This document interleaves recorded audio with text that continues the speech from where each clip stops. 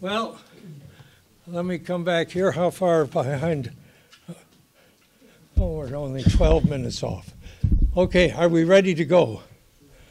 All right, and this is picking up? Okay, and can I sit down here? Everyone can hear him? Okay, I'll keep this up here. All right. Well, this evening is devoted to three success stories. And uh, uh, Osprey uh, leading off with that, and then we're going to have the bobolinks, and then we're going to have the shorebirds. and, you know, with all of the bleak news in the world, uh, why it's nice to have some success stories. And uh, these are three wonderful ones, and they didn't happen uh, just by accident. They've been the result of very conscious efforts by a lot of people over a long period of time. and you'll see some of that. Fred has some great illustrations of, of people hard at work on preserving the uh, Gina and Betty and others who have played a role in all this. So, uh, just I, I, think most of you are familiar with the Osprey story and the terrible loss uh, during the uh, uh COVID, the not COVID, it was COVID for the Osprey. It was the DDT uh, that era, and let's let's start. You know, just some scenes. I don't have a view, so I'm going to have to come watch this with you, I guess. Scenes of nice scenes of the Westport River. Okay, keep on. And there is one of the Osprey platforms, which uh, every. How many people have been out to visit an Osprey platform? Okay, how many people went out in that boat?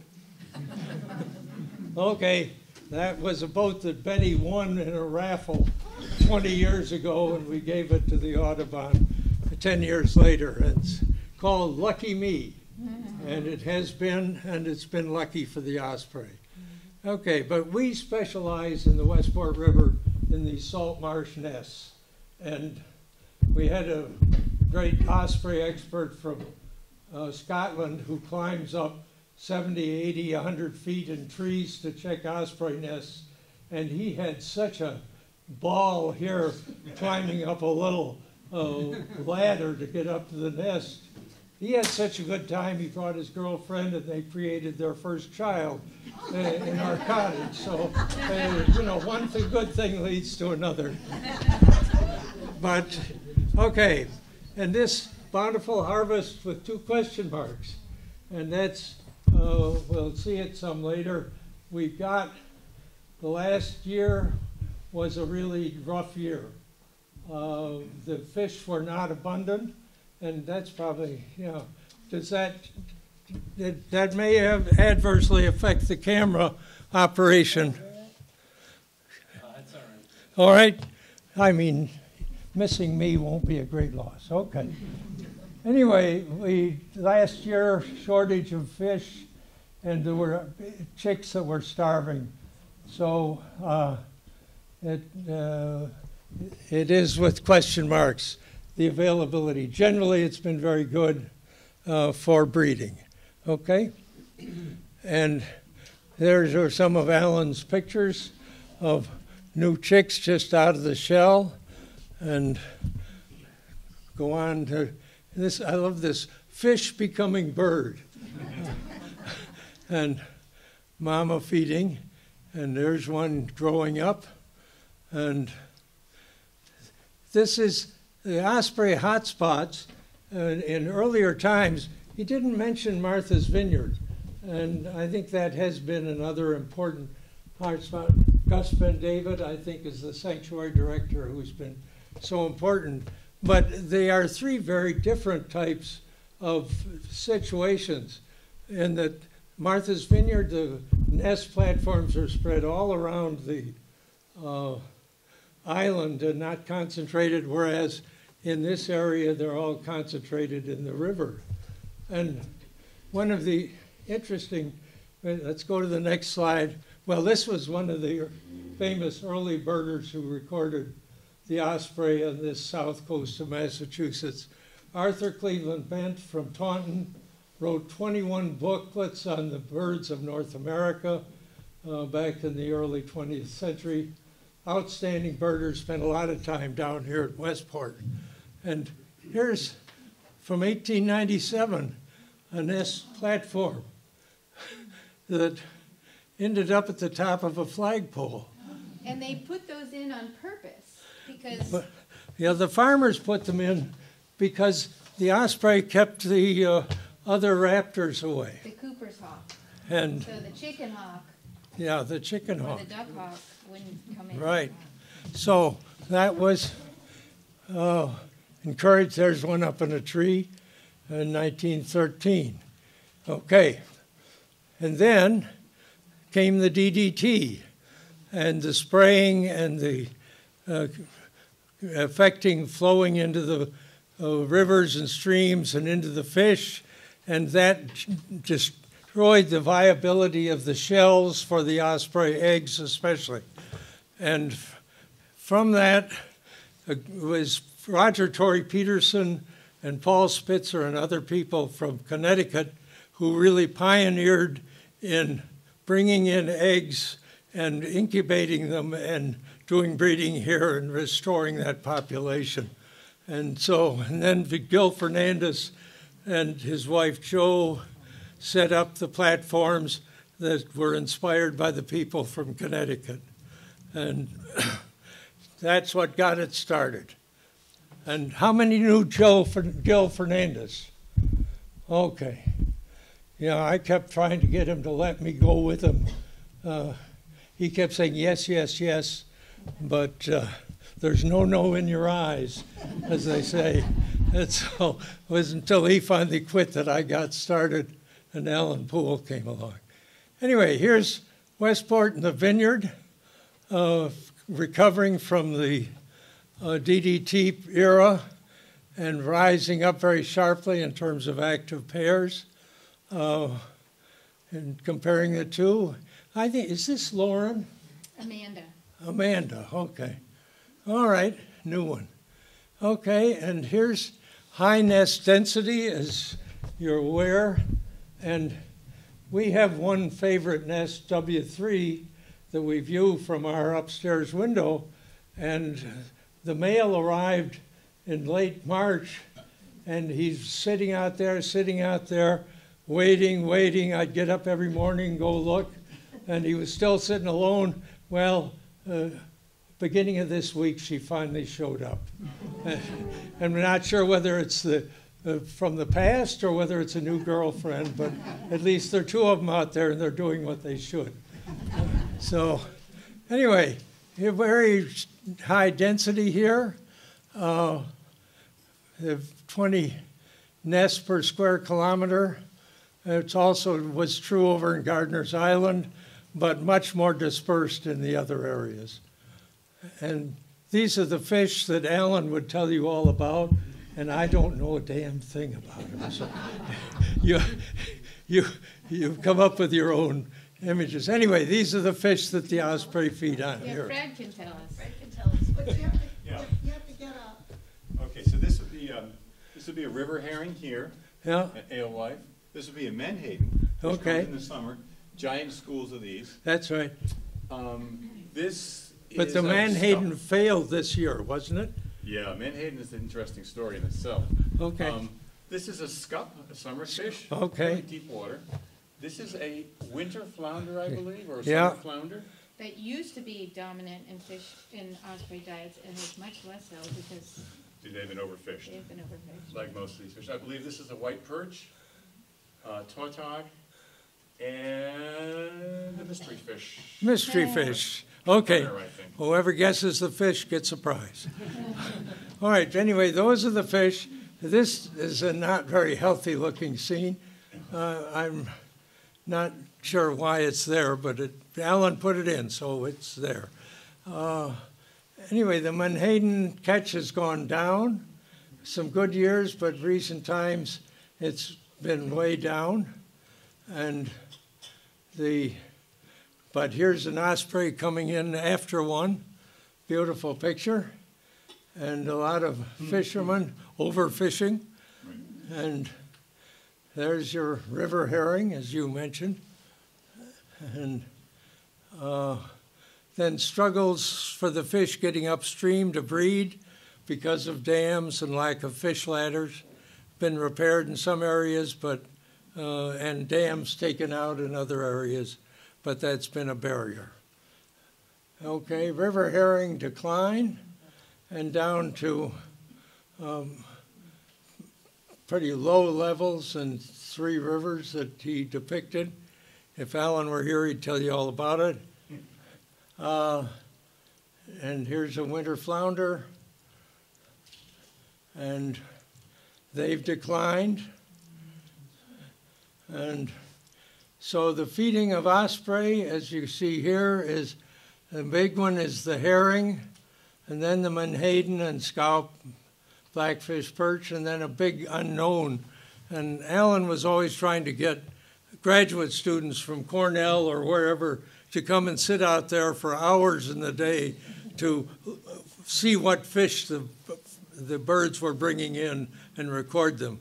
And that was what I tried to get my grandson to do, but he bowed out. So, And one thing about that, what I recall Alan talking about, is that herring is really how we get the eggs, or the female is bulked up, given the nutrients she needs to produce the eggs, and then menhaden is what feeds the chicks. So that, that seasonality and of, of available fish is really important for different stages. Okay, and here's the uh, breeding success. This was an older chart that Alan had, and it uh, shows reasonably good up and down, but then Matt produced a chart uh, last year, which I've put in as the next one, I believe. No? Okay, that's still population leveled off down there.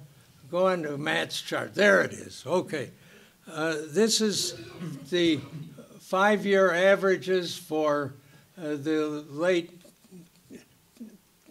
2005 to 2009, and then 2019 to 23. And you can see the increase in the number of nests and the active nests and the successful nests have gone up pretty sharply. Uh, eggs laid up by 50%, and eggs hatched 612, that's over 50%, and birds fledged uh, 90 to 145. But anyway, the higher number of nests and higher rates of success. And so that's the good sign. And looking ahead, it's 10 minutes to 7, so it's time for the next speaker. but if there's any. Okay. Thank you very much for a ringer. I'm just gonna pass around, just during the transition, this is an osprey, and this really, how many of you recognize this? I wanted to, raise your hand if you see an osprey nest regularly in your daily, pretty impressive. One thing, we are out of the woods in terms of osprey, um, imperilment, they are no longer the least bit imperiled. That's, yes. Full on Hey, success story. All right, let's get started. Okay, uh, just before Fred starts, I want to just say, Fred introduced Betty and me to birding. Uh, We had been scuba divers in Indonesia and Southeast Asia for seven years, and we came home and were looking for something to replace scuba diving, and we went and took Fred's course over at the Lloyd Center, and he got us hooked. And the way he really did it was, at the end of the thing, he finished his instruction, and then he heard this bird calling, and he said, "Great crested flycatcher." Just hearing it, wow. So that we chased birds all around the world as a result of that. And Wow, uh, so it's all his fault. All right. Okay, Fred, for go that. for it. Well, I want to talk about bobolinks in grassland. Um, It's, an- uh, bobolinks are one of my favorite birds. And I thought we'd first introduce you to the bobolink, in case you're not familiar with them, and um, do a couple of intro talks. My wife Amy's going to read a couple of paragraphs from a book by a local author about, uh, which is a, um, which is a sequel to Wind in the Willows, set on the Westport River. Okay. All right. Can you see? Okay. I think so. Yeah, I can see. Okay. Thanks. Uh, so this is from the book In the Wake of the Willows by Frederick Thurber.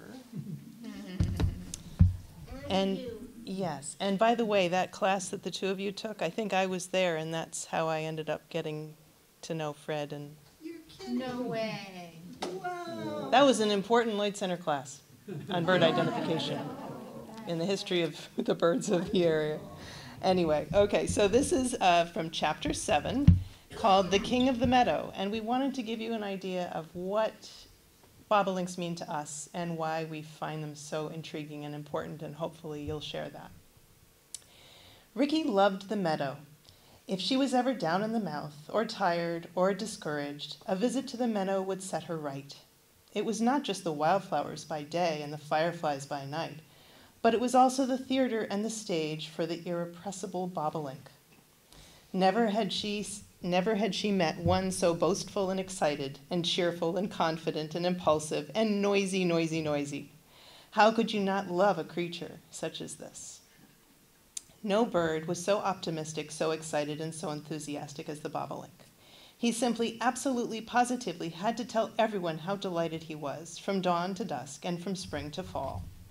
He may look comical, trying to balance on a nodding stalk of blue stem, but he would never admit it. The bobolink's words came forth like the sparkling waterfall, one on top of the other, in a joyous jumble of sounds. His notes went up and down like country, a country lane on a hummocky farm. Mm-hmm. He was sunshine and lupins and honeybees and butterflies all wrapped into one. Good. So, are we going to get the video? Yeah, great. Okay. So Matt's going to do um, a video I just discovered a few minutes ago by Lang Elliott. So I wanted to just uh, give you an introduction to uh, the song of the bobolink and also uh, some images of it, and to give you some idea why this bird excites me so much.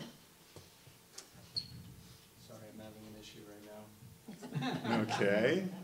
And there, uh, one of, uh, Barry Van Dusen's images on the wall, paintings on the wall, is of the bobolink. Yeah. Yes. Well, I guess we could just do the slideshow then. Oh, oh, oh. Do you need the, uh,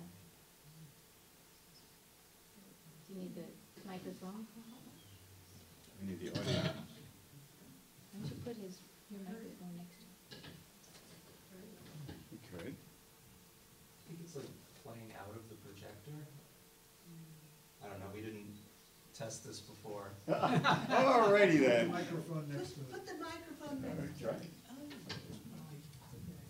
I'm hearing something now and then. Yeah. It does have some. Yeah, That's it. That's good. Hmm. Check. Is it coming out, is it coming out of the laptop?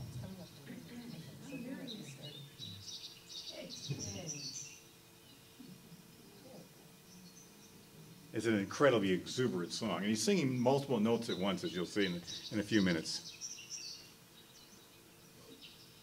Handsome devil, too.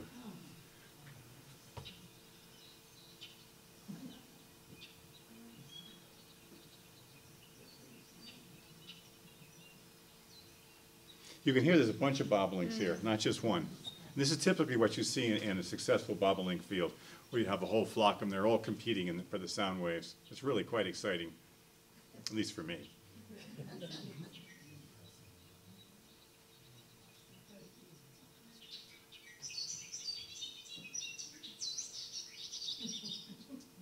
Now, this, this is amazing.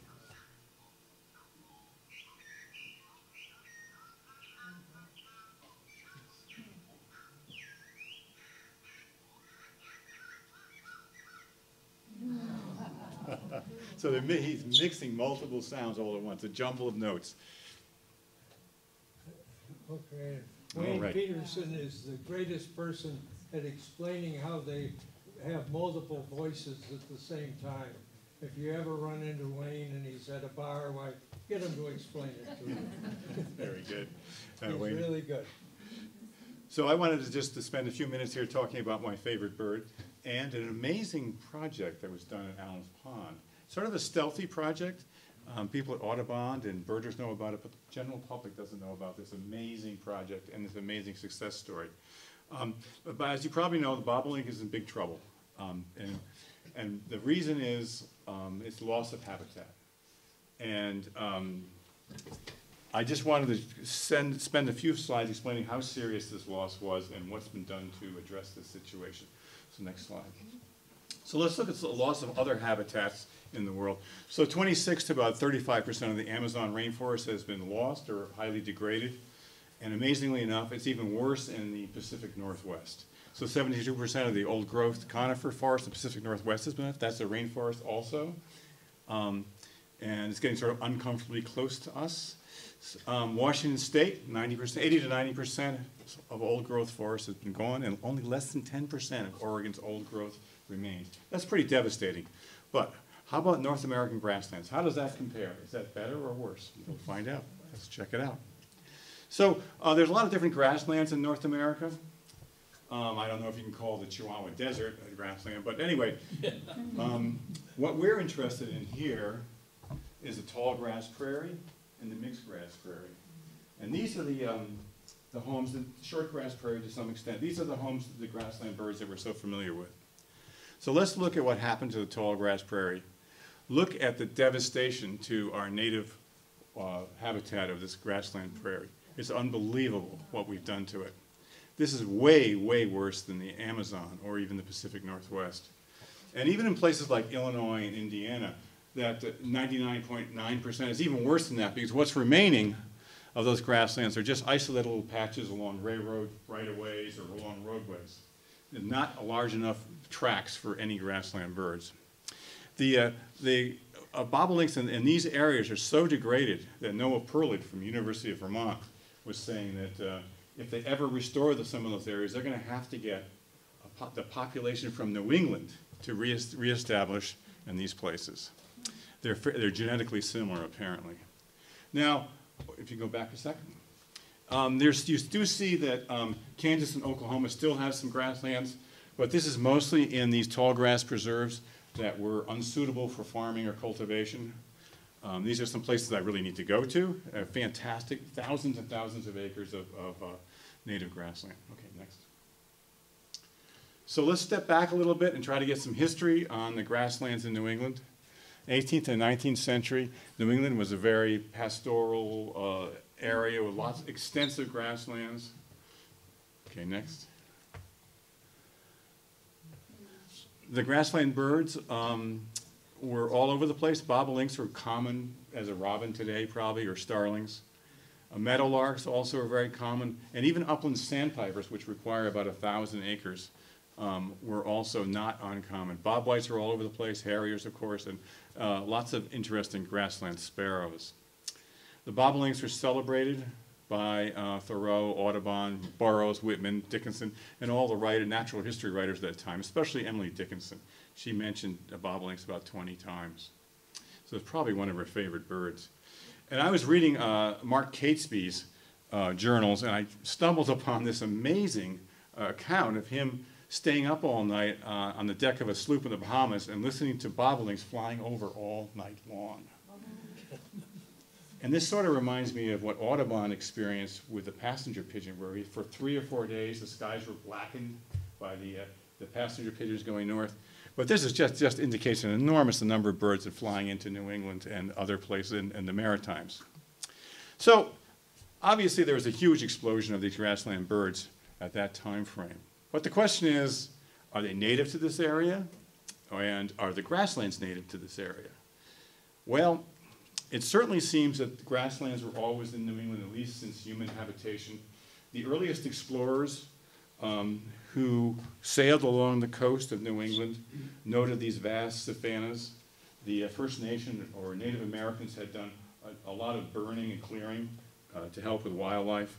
So there's, and there's also um, habitat along river bottoms and beaver meadows. So there was definitely grassland there. I can't really get a, a handle on what kind of grassland birds were there at that time, but probably at least bobolinks and savanna sparrows. Okay. So right now, uh, you can see this angry meadowlark here. And he is probably watching a mower. Very unhappy. And I've actually almost seen, I've seen a meadowlarks versus mowers. It's not a pretty sight. Um, anyway, the grasslands are one of the most endangered habitats in New England. And I'm talking about uh, grasslands that are suitable for grassland birds, not the artificial grasslands like golf courses. And according to the Mass Audubon, this is amazing. Grassland birds have shown the steepest, most consistent, and widespread decline of any group of North American birds. Okay.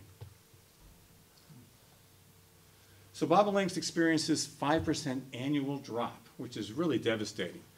Um, this is in New England. It recently it slowed down to only about 2%, but that's probably because there's almost nothing left. Uh, New Hampshire is still losing at a, pretty brisk pace, but that'll slow down also when they lose the rest of their bobolinks. Now, let's go to the next slide. There's a lot of problems with uh, birds in North America and declines, and there's some, a lot of the cases you don't know what caused the decline, like a loggerhead shrike. Nobody knows why loggerhead shrikes are disappearing. Uh, and maybe the warble if you don't know why they're disappearing. But with bobolinks, we know exactly why they're disappearing. And this has been proved by the experiments done at Allen's Pond. And that the problem is the haying schedules. Farmers want to get more than one crop out of the hay, and they especially want to cut early in June when the hay is more nutritious. Um, and the problem is cutting in early June or late May, they're actually cutting earlier now as the climate changes, is that this is the, when the bobolinks are nesting. Um, so the haying uh, will destroy the nest. You can see the little bobolink babies in those rolled up rolls. Well, not actually, but the, the bobolinks experience just about 100% nest mortality when the field is, is mowed. Not only do they get sucked up into the haying machines, but if they don't, um, they're exposed, and you can actually see um, crows and, and gulls swooping in behind the mowing machines, eat, catching the baby um, bobolinks and other grassland birds, and insects too, of course. Um, so, yeah, and the one thing I must emphasize is that there's no re-nesting after mowing in June. Uh, landowners and farmers would like to have you believe that the bobolinks will re-nest, but it has not been shown to be the case, at least in our area. Maybe in northern Vermont, but not in the area. It's never shown. What happens is that the bobolinks will, the parents will abandon the nest area and go to adjacent areas and mope around for the rest of the summer, then fly 12,000 miles back to Argentina, spend the winter there, then fly 12,000 miles back up here, and then try to re-nest again. Um, so I talked to a lot of landowners, and they say they need the hay, and okay, that's possible. But unfortunately, a lot of the landowners are cutting just for the appearance. They like the aesthetics. They like the look of a, a you know, a freshly scalped field.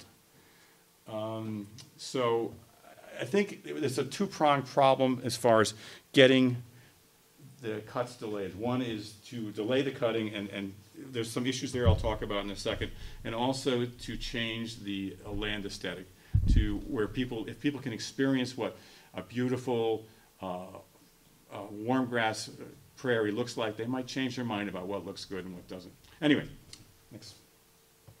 So, Mass Audubon was very, very uh, concerned about this loss of grasslands. And um, Andrea Jones and Peter Vickery did some landmark studies on grasslands in New England. And um, Andrea decided that they were going to try an experiment in our area. Um, so they had acquired some land, the Isaacs property that I'll show in a second.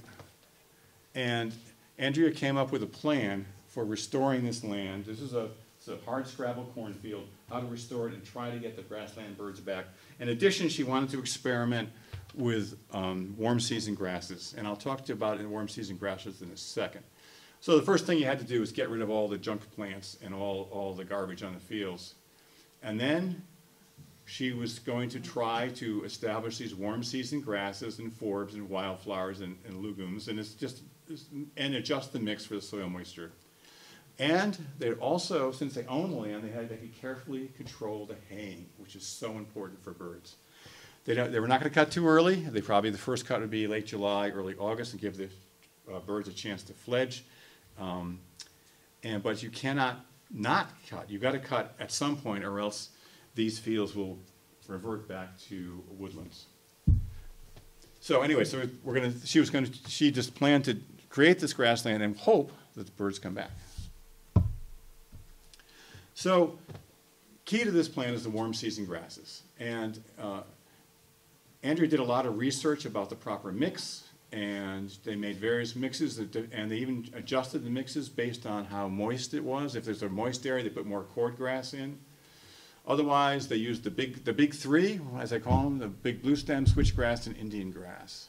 Now, I should note that these warm season grasses aren't strictly needed. If you have a large field, you do not have to go through this Herculean effort that Mass Audubon did to get the bobolinks. All you have to do is be careful with the haying. But Mass Audubon went in full bore, and this is just an amazing project.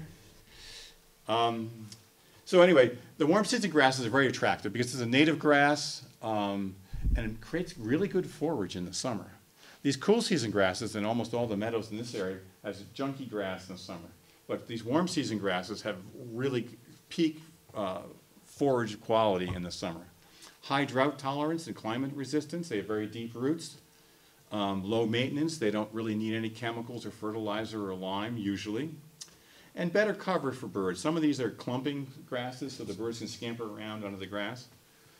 And interestingly enough, I think the aesthetics are much nicer. I much prefer this beautiful warm season grass to an astroturf green grass. But the ironic thing is those astroturf green grasses turn brown in the summer, while the warm season grasses look beautiful. All right, here's the start. And Gina was in on this, so she knows all about this. they, they, Audubon bought 201 acres of the Isaacs Farm down along Allen's Pond, and 55 acres of it was grassland, very barren, intensely farmed, barren, hard scrabble. Uh, silage corn was, was used there with tons of chemicals. Um, but uh, the con- they had a corn contract expired in 2000, and then they got to work. Here's the leadership team. These are the heroes of this conversion. Gina was sanctuary director, and Andrea Jones. Lauren was uh, the property manager for the middle years as the place as the grassland was getting established. And uh, Gene Albanese is the um, was the grassland ecologist, now senior conservation ecologist. He is the grassland expert who's been tuning and experimenting with these fields. Here are the workers. Um, they had Audubon workers and interns, a massive project, hundreds of people were involved. Um, SCA Conservation Corps, lots of local volunteers, including my son, and incarcerated people like these two hardened criminals over here, paying their debt to society. Ah, I don't know what we're gonna do with them. Cute couple. Yeah. um, I talked to Andrea about this, and she said that um, the incarcerated people, as they say, actually had a good time doing this. Yes. They got good food, and they got ice cream sandwiches, which was very important. They loved working in these fields. So it was a great community effort. So the work begins, and it was rough at the beginning. You can see, I believe these are uh, AmeriCorps workers on the right. Um, they cleared brush and woody plants and trees and, and worked very hard on these invasives such as the multiflora rose and the cold weather grasses and phragmites. And each one of these uh, invasives required a different strategy that I'm not going to get into. Um, but there was an epic battle against the Johnson grass. And you can see Andrea Jones there on the left looking disgusted as she pulls out the long, amazing roots of the Johnson grass. This stuff can go 100 feet underground and pop up. So it was an epic battle with herbicides and black plastic and God knows what else. Um, also, um, it was a community effort. Um, I believe there was a guy from um, Sylvan's Nursery who came over with a tractor and tilled the land for them for free, which was very nice. And also, they acquired a seed drill, um, because some of these warm season grasses, such as the big blue stem, are very fluffy and will blow away in the wind, so they had to drill it into the ground. It was a massive effort, okay? Ah, well, things start to change pretty quick. In only a few years, uh, the warm season grasses started to move in, and then in 2002, the first savanna sparrow started nesting, and then in 2005, the first bobolinks nest. Okay? And from there, wow, what an explosion. Look at these numbers. They go from seven pairs to 18 pairs to 33 pairs, and then 45 males and 59 females in 2023. Now, probably, from what I heard, there were probably about 30 breeding females, and the rest were um, birds that had been displaced by the unfortunate early mowing in adjacent fields. But still, it's very, very impressive. And um, I don't know if you've ever been to these fields, but it is wild. These birds are all over the place, uh, displaying and flying back and forth and, and singing up, it's singing like crazy. It's really, really an exciting place, at least for someone like me. Mm-hmm. Okay. Warm season grasses are very significant, and it's really Audubon at its best here. Because not only are you preserving open space, you provide habitat for endangered birds. It's also a platform for research. And this project, this is, doesn't even really have a name except the warm season grasses. It's very stealthy. Nobody outside of this room really knows what, what went on here and how important and dramatic this changeover was. Um, and I don't know of any other project that's uh, similar to it. There's something called the Bobolink Project, which pays farmers not to hay early um, on their own land.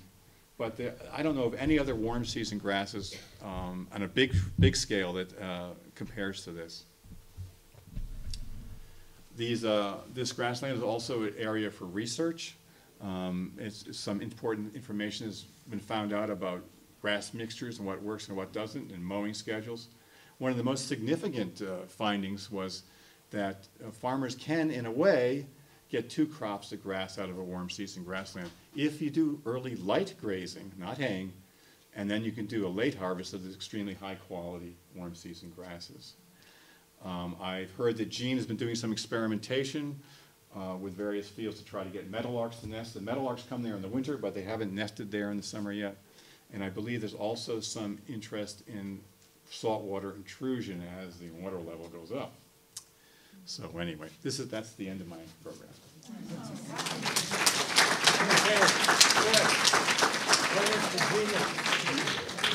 Do you need intro? Any questions? Oh, Um, Blair? Where are the fields that we should go in? they're hidden. They really are. You can't get to them. Uh, Actually, the Grassland Loop is a part of our trail system, and if you park at Allen's Neck uh, parking and follow the Woodland Loop, and I recommend, if you want to get there faster, take the first left. Um, Don't, the, the Woodland Loop is a loop, and you wanna go the left version, cause it's shorter than the right version, or the straight version. Um, Go July, Go July, bring bug juice. yeah. It's Even pretty wild. June, even June is lovely. June. lovely. June's lovely too. Yeah, yeah. Garrett has a question? Garrett? Are the, um, are the warm season grasses, um, stable over time and will it be, be displaced by other plants? That's a very good question. And I, I think that the big blue stem can actually dominate a field.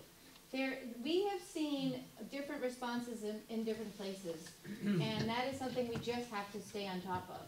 Um, so there've been fields that eventually clover moves in simply because the conditions are right for moisture and whatever else in the soil. And clover isn't really what we want. Uh, but, so sometimes we've done some overseeding. And, um, at one point, we had an overabundance of timothy. Uh, so we just have to be responsive to things that move in. But And we might is your research. Yep, that's part of the I encourage you to take on your talk. Okay, Number three. number three.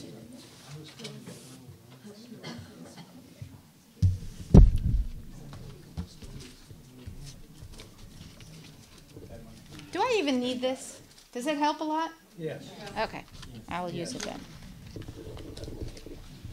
Um, all right, so I'm going to talk about shorebirds, and uh, I'm specifically going to specifically going to talk about three species that um, I'll introduce my thoughts through three species. I want to go through their distinctions, uh, some of the rising concerns, and how any of us can take part and help. First, what I want to do, however, is acknowledge that uh, wildlife habitats are located on the traditional, contemporary, and unceded territories of several indigenous nations, including the Massachusetts, Mohican, Nauset, Pennacook, Pocum- Pocumtuck, Wabanaki, and Wampanoag. These lands were often taken from the uh, were often taken from the indigenous people, creating a legacy of injustice that persists to this day. Um, we acknowledge that indigenous stewardship of the land we now call Massachusetts kept its ecological and human communities vibrant, strong, and interconnected for thousands of years. And to this day, indigenous peoples, including the 37,000 individuals who currently reside in Massachusetts, are still at the forefront of climate action, ecological stewardship, and environmental justice. Mass Audubon is committed to the work of learning, listening, and evolving so that someday soon we may live in right rela- relationship with the people who have been the rightful stewards of this land for thousands of years. So, starting off, what is a shorebird? It's a name we have given it, um, and, and yet it is uh, a class, uh, it's a noun, it's any bird that frequents the shore. Pretty straightforward. Uh, in, in, in some places, you might just call it any wading bird right, that is at the shoreside. And in England, uh, the term for sandpiper, I believe, is wader. They use wader when we use sandpiper. Um, so, technically, from an ornithological perspective, it's a diverse group of birds within the order uh, Charadriiform, and that it comprises the sandpipers, plovers, avocets, oyster catchers, and phalaropes. As you can see, there's hundreds of these species, and, uh, and 81 of them, uh, a good portion of them, are in the Americas for some or, or portion of their life cycle. 52 breed in, in uh, North America, and, uh, and I'm going to talk about just uh, three of these. So there, one from each of those of the families that are in this uh, in this order, and we've got the American oyster catcher, piping plover, and the red knot. And I'm presenting them as gems because I'm trying. I want to conjure the notion of treasure, inheritance, value across time and place. These birds are rare and difficult to find. Many of us have seen some of these birds, but many, many other people in the world, the vast majority of people in the world, have not seen the three gems that I'm going to describe. They all have three things in common, or a few things in common. They nest on the ground. So many people don't realize that birds nest in the ground. That's not a given. And yet, hundreds, I mean, hundreds of species nest on the ground. These, all these, uh, the th- these three birds all produce one brood, and their chicks are mobile soon after hatch. So they're up and running. They also occupy precarious habitats where the combined threats of uh, pollution, sea level rise, climate change, any of those things can make their future less certain. And I just want to throw out there that once you get to know them, you can't help but consider that they really epitomize some good core traditional values, family values, which I'll get into in a little bit later. All right, so um, we're going to start with the showstopper. Uh, the American oyster catcher. Hard to believe when you see that. How many of you have seen an American oyster catcher? Oh, see, you go to any most any other community, you go out to uh, I don't know someplace in Chicago, you're not going to get that kind of response. All right, um, these are stocky, sturdy birds. They have long legs and really, I mean, look at those legs. Those are like something else.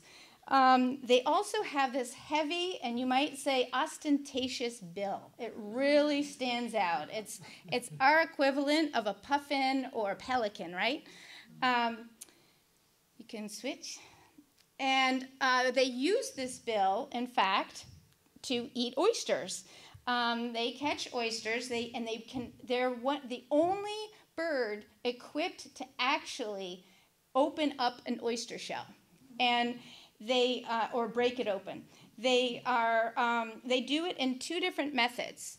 At low tide, or when the mussel beds or, or oyster beds are exposed, and the and the animal is is op- is uh, its shell is open, stealthy, stealthy oyster catcher comes along and jabs its bill in straight at the adduct- adductor muscle. The, that's the muscle that closes it up fast and they sever that muscle in one swoop. So the precision, you know, that like very little room for error. And, um, and, and they have to actually sever it so successfully because it has been known that they actually, the muscle can, or oyster can clamp. If they don't get it right, the um, shell can clamp on that uh, bird and, and actually, you know, make a bad day for it. Um, the, the other method is that the, if the mussels aren't exposed or, or oysters aren't exposed and open, given the tide, they'll, um, they can go to, wade through an area and pick out a shell, and then they'll carry it elsewhere to a firm substrate, and then they'll hammer at it like a pickaxe. But they're hammering at that same adductor muscle. And that's how they're able to, once again, loosen the tight bind that the, uh, that the shellfish has on it. And in the process of all of this excavating these very uh, hard to get to food resources, they often make a bit of a mess. And so other birds have learned that there's a little bit of a, uh, a you know, uh, a, material left behind that they the scraps and the and the crumbs are there for the picking. So they often draw ruddy turnstones, other birds to them as they are um, in the process of of eating. So you can move to the next.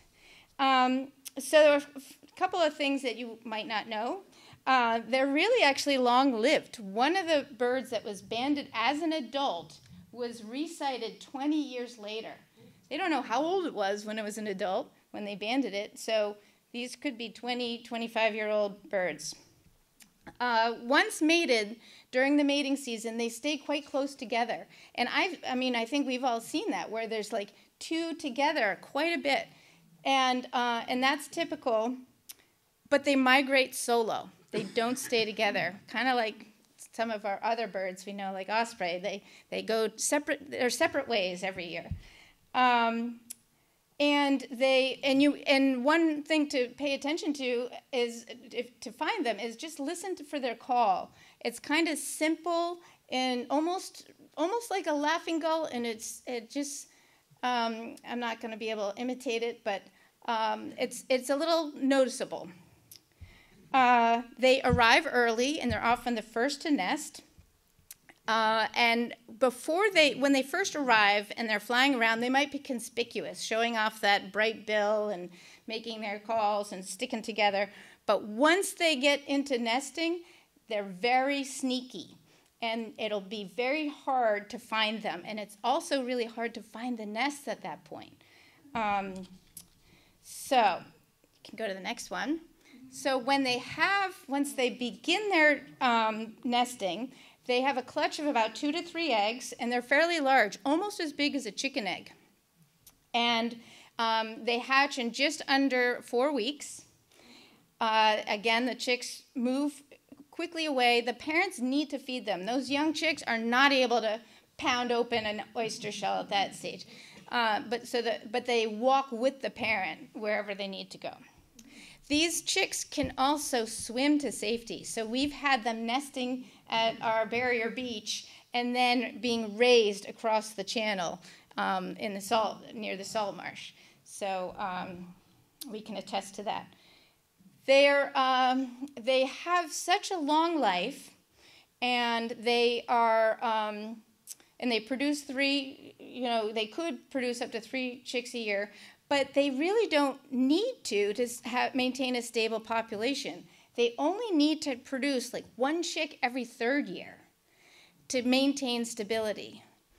Here in Massachusetts, the last time, um, just in 2023, the statewide uh, reproductivity rate was instead of like 33%, 35%, it was almost 90 to 100%. So basically, one chick was coming out, was being produced out of every um, brood. However, that was not the case at Allen's Pond. We have traditionally been, you know, routinely had a bird nest at Allen's Pond, sometimes even, I mean, a pair, sometimes even two pairs. And the one pair that nested last year uh, successfully hatched all three chicks, but the parent was in a, some sort of altercation, and one of the parents, and it had a wonky wing. It could barely fly, and you could tell it was agony for it to fly. When those three chicks hatched, the the two parent household fell apart because the, the second parent couldn't do its job and um, and so all three chicks died within a, a, day or two but remember they've got you know they've they'll have produced one in three every third year i'm sure of it um, so in any case although it, it uh, we're not going to have those chicks this year coming back uh, generally speaking the birds are doing well. They were absent for over a hundred years until 1969 when the first pair returned to the state of Massachusetts on one of the islands.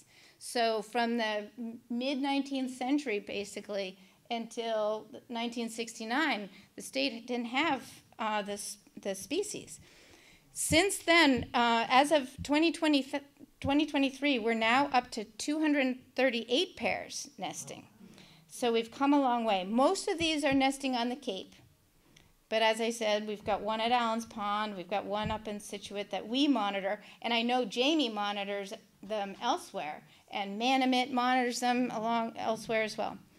Um, they still remain a species of high concern, um, and that is primarily because even though we're seeing a range expansion here, they are um, they're diminishing. Their number is diminishing in the core of their range. So we should expect to see more of them. And I need to speed up, so I'm going to speed up.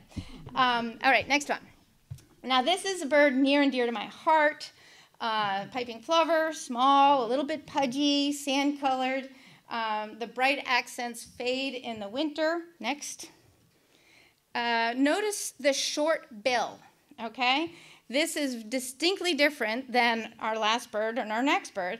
Um, and, and this means that it's probing in this wet substrate at a very shallow level and it's picking up whatever it gets. It's not a specialist like the oyster catcher. This is a generalist, and they will eat amphipods and shrimps and larvae of mollusks and, and baby crabs and lots of marine worms and flies and spiders and anything they can catch in the dunes as well beetles, crickets, all that. So, wide range.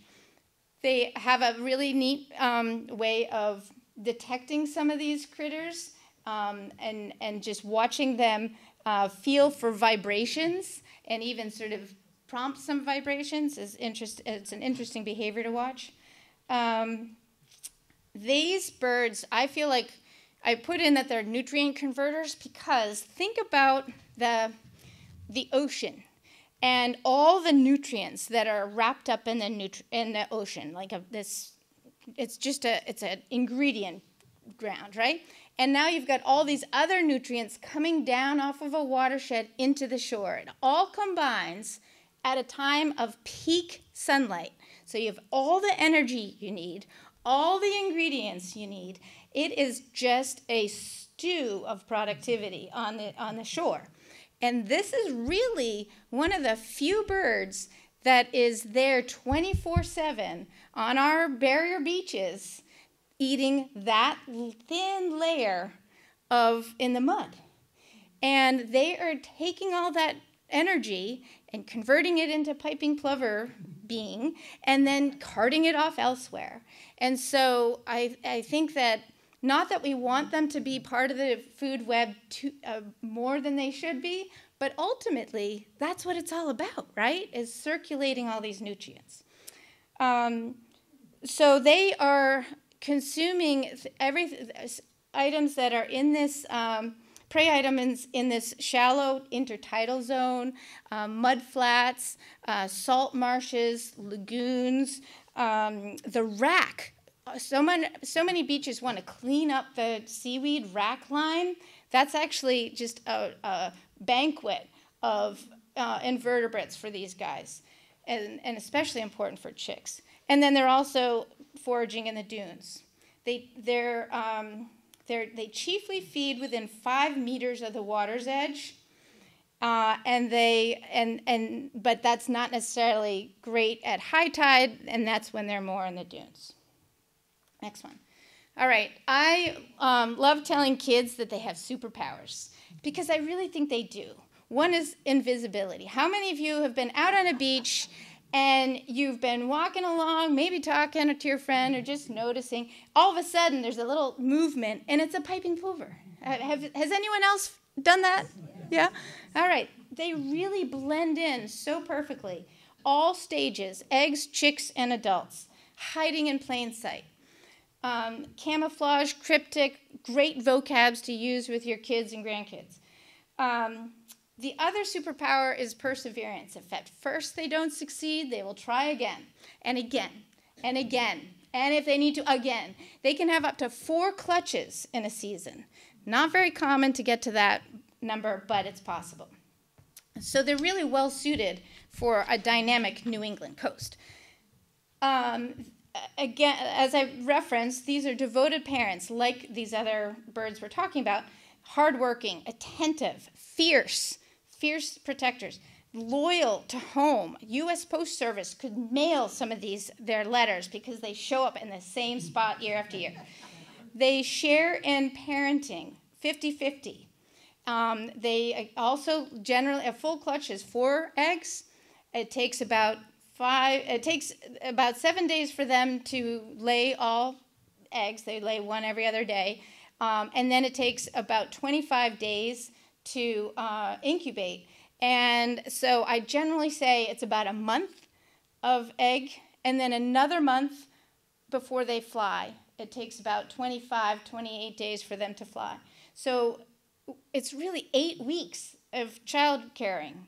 Um, and, uh, but if they lose any at that point uh, if they lose the chicks or the egg sorry in the in the chick egg phase they will start over again. And that sets the eight week clock anew.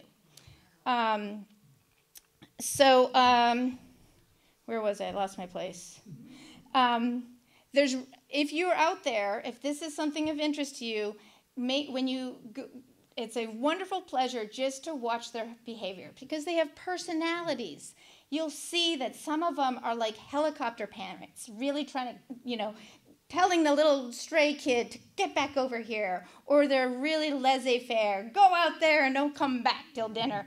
Um, they really show personality. They also have some distinctive behaviors courting behaviors, territorial uh, defense behaviors. Uh, things that, that keep predators at bay, such as um, false incubating.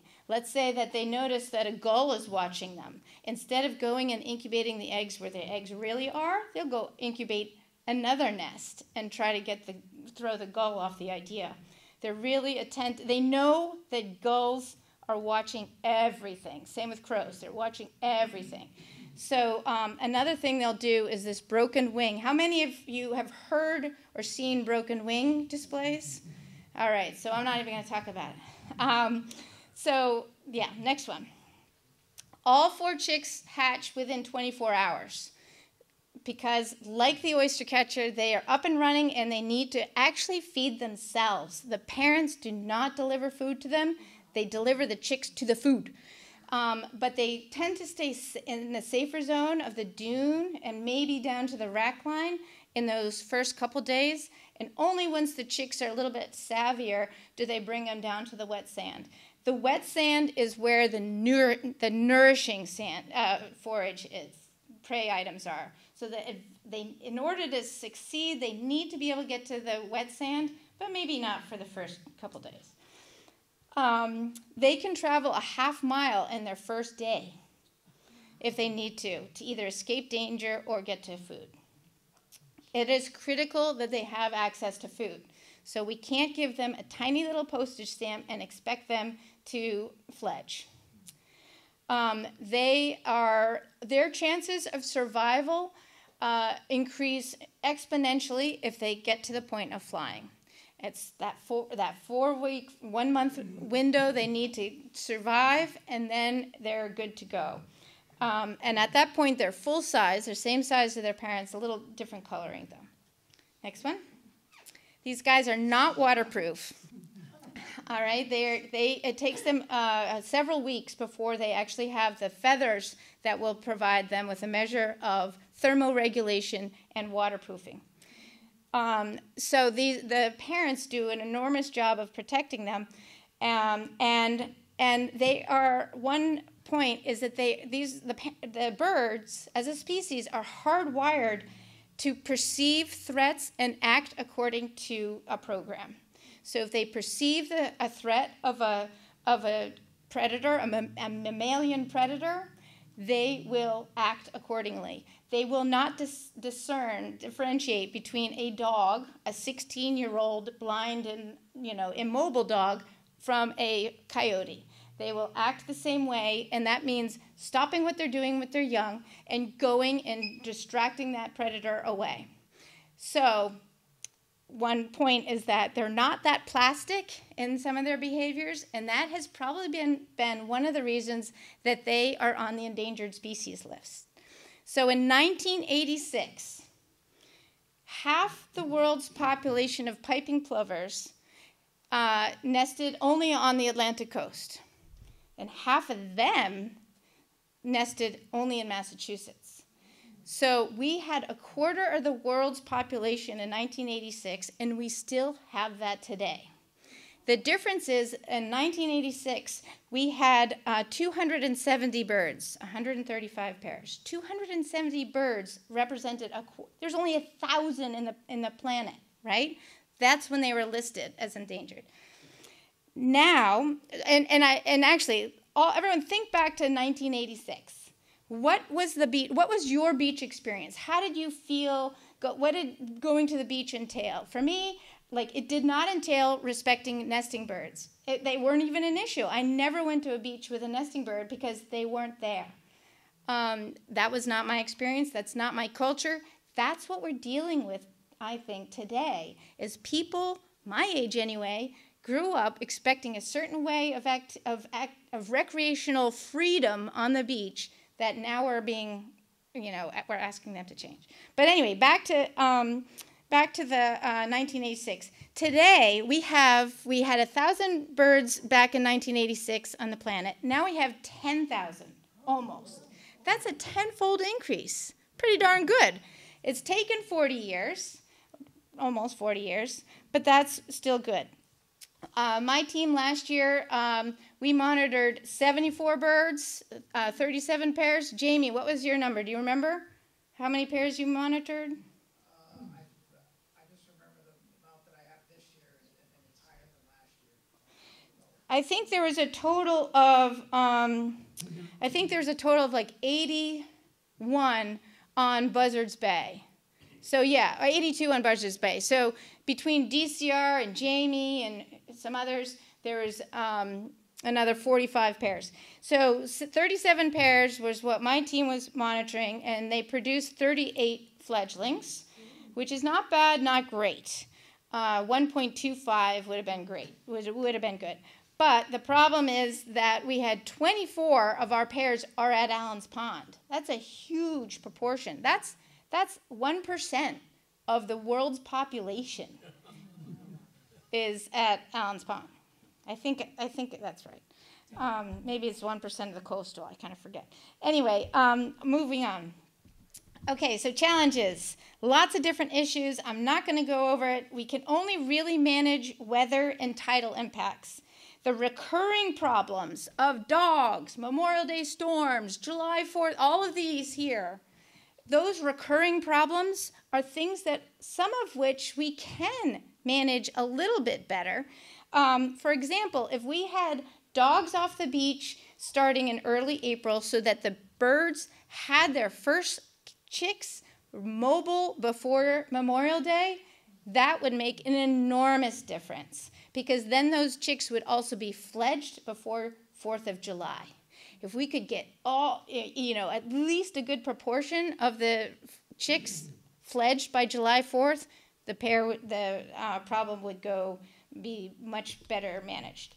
Um, so what I think we're looking at is, uh, as far as some solutions, you can go to the next one, is essentially thinking out some better uh, or rethinking the etiquette of fun, of, of recreation, changing that a little bit. And, um, and so we've had some successful solutions, like the legal protections of the Endangered Species Act and the guidelines that are produced uh, which Mass Audubon and, and the Lloyd Center and others help beach managers uh, meet those guidelines, meet those conditions. And if we do all of these things, if we do the planning and the monitoring, the symbolic fencing and everything, um, then we there's a lot of other benefits that are realized. Uh, there's projects are more permitted because there's a favorable uh, re- regard for those beach managers by the permitting agencies. Uh, we get more coastal resilience because our dune is better protected. There's less trash on the beach for anyone to experience. We have fewer experience, negative experiences with dogs or fireworks and other things. And we could really leverage some um, revenue opportunities. There's a lot of birders out there. They like to spend money. There's only 10,000 piping plovers in the world, and Massachusetts has a quarter of them. Why aren't we like Rwanda for gorillas with making this a money making venture? Um, all right, next one. Gina, I know, I gotta stop. you know, we've got to stop. Yeah, okay. We've got only 10 minutes to clear out. Okay. And these have been fascinating, but the red knot we'll save for another time. That sounds good. Or- yeah. thank you. Thank you, thank you.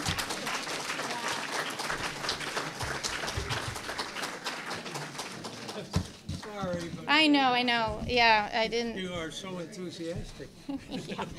Okay, anyway, check some of the stuff back there. Thanks all for coming. See you next week if you can make it. Okay. Uh,